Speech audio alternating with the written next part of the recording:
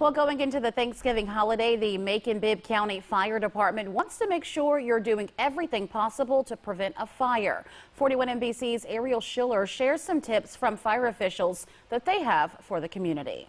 It's the most wonderful time of the year, and Macon-Bibb County Fire Department is finding ways to make sure it stays that way. They held a turkey frying demonstration Wednesday morning as a way to remind people to be safe if they're frying a bird this year. You want to ensure or make sure that you are a safe distance from your house or any structure. You want to make sure you're not frying inside, indoors or not frying under your garages or anything like that. Fire safety educator Jeremy Webb says have a backup plan in case of bad weather. You have to do it outside, outdoors, and we all know that rain and water don't mix with grease. He says wear safety goggles, oven mitts, and closed-toed shoes when frying. And make sure the turkey is completely thawed out before going in the fryer. Also, test the lines of your propane tank. And most importantly, keep an eye on the fryer at all times. You want to have a pet-free zone, uh, a child-free zone, to ensure you have no burns or injuries during this turkey frying.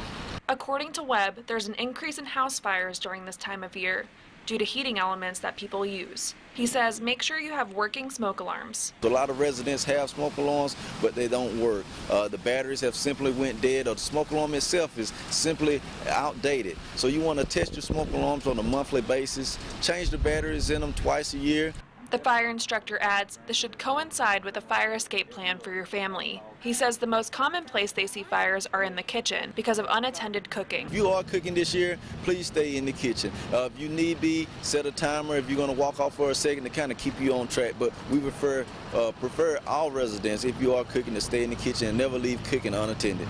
But if you do have an emergency, call 911 immediately. We're on duty 24 hours out, out the day, seven days a week. So, so I never feel like uh, any emergency is too small or too big to give us a call. In Macon, Ariel Schiller, 41 NBC News.